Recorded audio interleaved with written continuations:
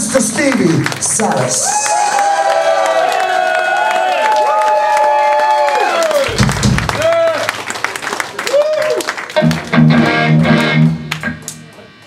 You guys feeling all right? The last time I played at this this club, there was a girl in the crowd and she was going crazy. She was singing. She was singing in the crowd. We could never understand what she was singing. And when we brought her on the stage, she grabbed the microphone and she was singing this song. So we thought since she was singing it, we're playing her, we better learn this song. This was called Crack Killed Applejack. Oh.